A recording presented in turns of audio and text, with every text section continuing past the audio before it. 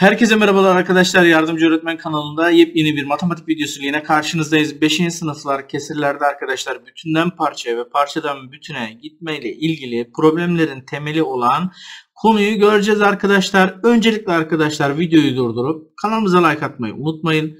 Ayrıca arkadaşlar bizi Instagram'dan da takip ederseniz çok seviniriz. Hazırsanız başlıyoruz. Şimdi bütünden parçaya giderken arkadaşlar öncelikle bize e, bütün olan şey verilir ve bunun bir kesir kadar e, kesir kadarını bulmamız istenir. Yani burada mesela 80 bütünümüzmüş bizim. 80'in 5'te 2'sini bulmamız istemiş. Şimdi arkadaşlar böyle sorularda öncelikle paydamıza bölüyoruz. Payımızı çarpıyoruz. Yani ne yapacağım o zaman ben buradan?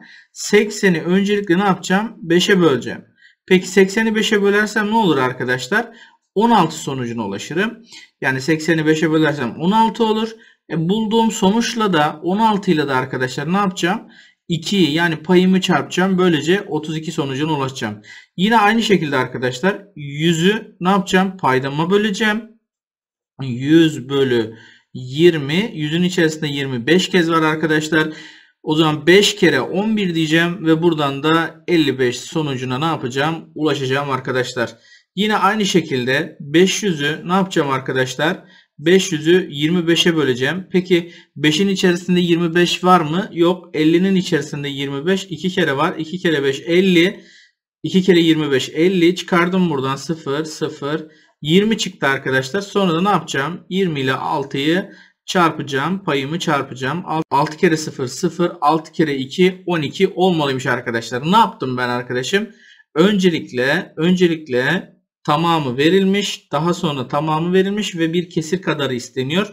Ne yapıyorum? Paydama bölüyorum. Bulduğum sonucumu pay ile çarpıyorum arkadaşlar. Evet gelsin yeni sorumuz. Elif 3000 TL parasının 6'da 4'ü ile cep telefonu almıştır. Buna göre cep telefonunun fiyatı kaç liradır? Ne yapmam gerekiyor? Bana bütünü vermiş mi? Elif'in toplamda ne kadar parası olduğunu vermiş mi? Evet vermiş arkadaşım. Ne kadarmış? 3000 TL. Ben şimdi ne yapacağım bu 3000 TL'yi? Tabii ki aynı sistemi burada da uyguluyorum. Paydaya bölüyorum arkadaşlar öncelikle. 6'ya bölüyorum. Peki 3'ün içerisinde 6 var mı? Yok. 30'un içerisinde 6 5 kez var. 5 kere 6 30. Buradan çıkartıyorum. 0. Sonra 0 2 tane sıfırımı aşağı indirdim ve yanına 2 tane 0 ekledim arkadaşlar. 500 çıktı 6'ya bölünce 3000'i. Şimdi bulduğum e, sayıyı ne yapıyorum arkadaşlar? Payımla çarpıyorum. Yani 4 ile çarpıyorum. 4 kere 0 0, 4 kere 0 0, 4 kere 5 20. Buradan da telefonun 2000 TL olduğuna ne yapmış oldum arkadaşım? Ulaştım. Çünkü bana parasının tamamı verilmiş. Parasının tamamı verilmiş ve bunun 6'da 4'ü ile telefon aldığını söylüyor. Ne yapıyorum o zaman? 6'ya bölüyorum. Daha sonra da arkadaşlar bulduğum sonucu 4 ile çarpıyorum. Payda, payımla çarpıyorum. Evet geldik. Bir sürahideki 900 mililitre limonatanın 15'te 5'i içiliyor. Buna göre kaç mililitre limonata kalmıştır? Yani bu sürahide ne kadar limonata kaldığını soruyor. Yine aynı şekilde arkadaşlar sürahideki toplam limonata belli mi? Belli. Ne kadar arkadaşım? 900. Peki bunun ne kadarı içilmiş? 15'te 5'i. Ne yapıyorum o zaman? Bunu 15'e bölüyorum. 9'un içerisinde 15 yok ancak 90'ın içerisinde var. Acaba kaç defa var? 6'yı bir deneyelim. 6 kere 5 30 elde var 3. 6 kere 1 6 9 çıkardık 0 0. Buradan 0 aşağı indi. 60 oldu. 60'ı da ne yapıyorum arkadaşım? 5'i çarpıyorum. 5 kere 0 0. 5 kere 6 30. Buradan da 300 e, mililitresinin ne olduğunu görüyorum arkadaşlar. İçilmiş bu kadar. İçilmiş. İçilen miktar.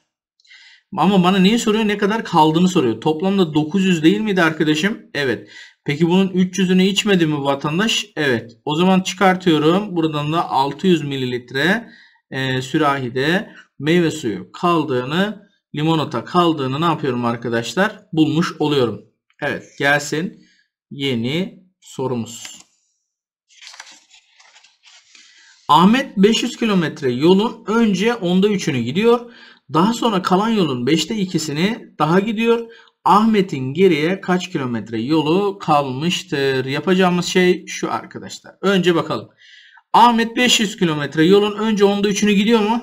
gidiyor. Ne yapıyoruz arkadaşlar? Önce gittiği yolu bulmak için 500'ü önce bir 10'a bölüyoruz. Bir sayıyı 10'a bölmek neydi arkadaşlar? Bir tane sıfırını silmekti.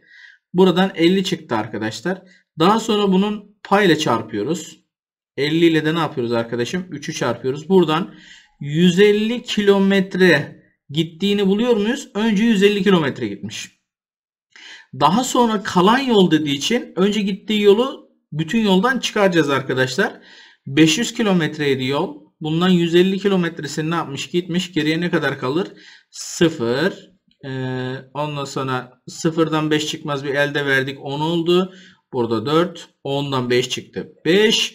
4'ten 1 çıktı. 3. 350 kilometre yolu kalmış arkadaşlar. Bunu unutmadan yazayım. Bu ilk gittiği yoldu. Şimdi kalan yol 350 kilometre. Kalan. Daha sonra ne yapmış bu arkadaş? Kalan yolun 5'te 2'sini daha gitmiş. Ne yapacağız o zaman?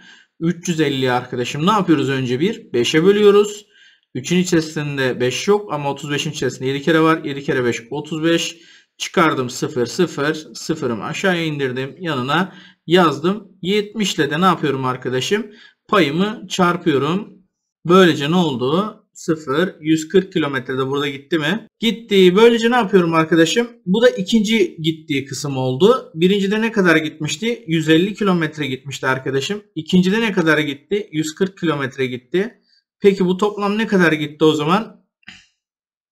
0, 9, 290 kilometresini gitti mi? Evet. Peki bu kişinin toplam ne kadar gitmesi gereken yol vardı? 500 kilometre vardı değil mi? 500 kilometreden o zaman gitti 290 kilometreyi çıkartırsam eğer geriye kaç kilometre yolu kaldığını ne yapabilirim arkadaşım? Bulurum. Sıfırdan 0 çıktı. 0. Sıfırdan 9 çıkmaz. Elde verdim. 10'dan 9 çıktı. 1. Burada kaldı 4. 4'ten 2 çıktı. 2. 210 kilometre ne olmuş arkadaşlar bu kişinin? yolu kalmış diyoruz. Evet bir bütün verilir ve kesir kadarı bizden istenirse arkadaşlar ne yapıyormuşuz o zaman? Paydaya bölüp pay ile çarpıyormuşuz. Şimdi geldi yeni konumuz arkadaşlar. Bu defa parçadan bütüne verilecek. Yani bir bütünün bir parçası veriliyor. Bir kesir kadar kısmı veriliyor. Bana tamamı soruluyor. Böyle sorularda ise arkadaşlar deminki yapmış olduğum işlemin tam tersini yapıyorum. Çünkü biz bütünün toplam kaç parçadan oluştuğunu bulmak için paydaya bakarız arkadaşlar. Yani bu bütün 10 parçaya bölünmüş. Ama bu 10 parçadan 9'u neymiş? 81'miş. O zaman şöyle yapacağım arkadaşım burada da. Paya böleceğim. Bulduğum sonucu payda ile çarpacağım. Paya bölersem ne olacak arkadaşım o zaman? 81'i 9'a bölersem buradan 9 sonucuna ne yapıyorum? Ulaşıyorum.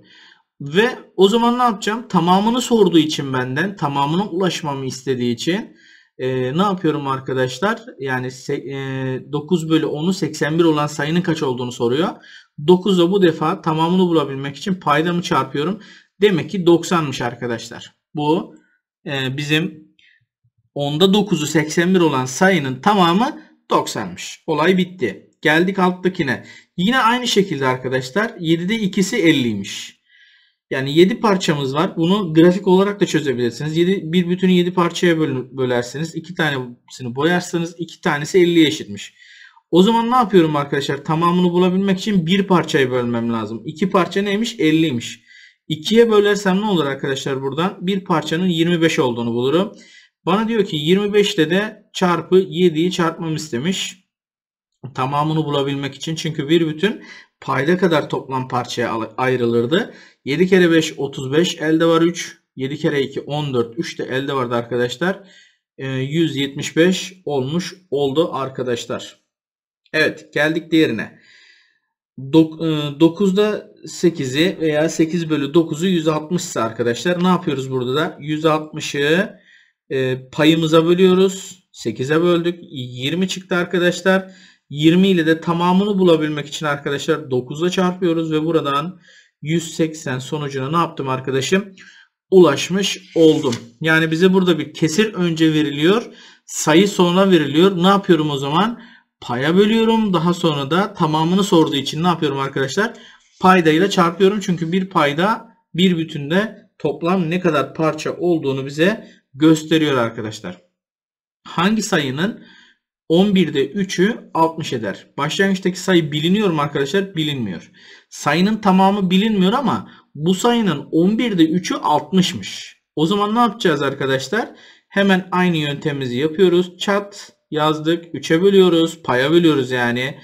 60'ı 3'e bölersek 20 çıkar arkadaşlar. Ve 20 ile de ne yapacağız? 11'i çarpacağız arkadaşlar. 1 kere 0 0, 1 kere 2 2, 1 kere 0 0, 1 kere 2 2. Toplarsak arkadaşlar buradan da 220 sonucuna ulaşacağız. Demek ki 220 sayısının e, 3 bölü 11'i neymiş arkadaşlar? 60'tır. İsterseniz deneyebilirsiniz. 220'yi 11'e bölersiniz. 220 bölü 11 Buradan 20 çıkar arkadaşlar. Bunu da 3 ile çarparsanız gene 60 sonucuna ne yapabilirsiniz? Ulaşabilirsiniz. Demek ki işlemimiz doğruymuş. Evet arkadaşlar gelsin sıradaki sorumuz. 6'da 3'ü 60 olan sayının 12'de 5'i kaçtır? İsterseniz burada, isterseniz burada arkadaşlar direkt sayımızı 60'ı e, 3'e bölüp 6 ile çarpıp sayının tamamını bulabilirsiniz. Veya burada bir şey dikkatinizi çekebilir. 6 bölü 3 dikkat ederseniz 3 6'nın yarısı. O zaman ne olacak arkadaşım? Burada bu 1 bölü 2 yani yarım demek. Yarısı 60 ise tamamı ne olur o zaman bunun? E, direkt hesaptan bulabiliriz arkadaşlar. Bir e, hangi sayının yarısı 60 olur? Tabii ki 120'nin o zaman ne yapacağız arkadaşlar? 120'yi 12'ye bölersek buradan 10 sonucuna ulaşırız. Payımızda da çarparsak arkadaşlar 10 kere 5'te buradan 50 olur arkadaşlar. Demek ki bizim e, yarısı 50, 60 olan sayının 12'de 5'i arkadaşlar 50'ymiş diyoruz arkadaşlar. Evet. Şimdi geldi arkadaşlar bu e, sorumuz size geliyor. Bu sorunun cevabını ne yapıyorsunuz? Yorum bölümüne yazıyorsunuz arkadaşlar. Evet arkadaşlar şimdi bu soru sizde arkadaşlar. Sinan 1000 TL paranın 5'te 2'siyle mont 10'da 3 ile spor ayakkabı almıştır. Buna göre Sinan'ın kaç TL parası kalmıştır diyor arkadaşlar. Cevaplarımızı yorum bölümüne yazıyorsunuz arkadaşlar. İlk cevap verenin adı diğer videoda okunacak.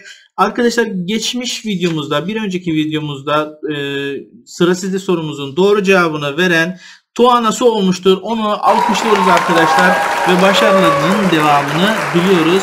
Ayrıca arkadaşlar bize kanalımıza katıl butonuna destek olan arkadaşlarımıza Burhan Dinç, Mehmet Kurtar ve Esra Dinç'e teşekkür ediyoruz arkadaşlar. Bir sonraki videomuzda görüşmek üzere. Kendinize iyi bakın arkadaşlar.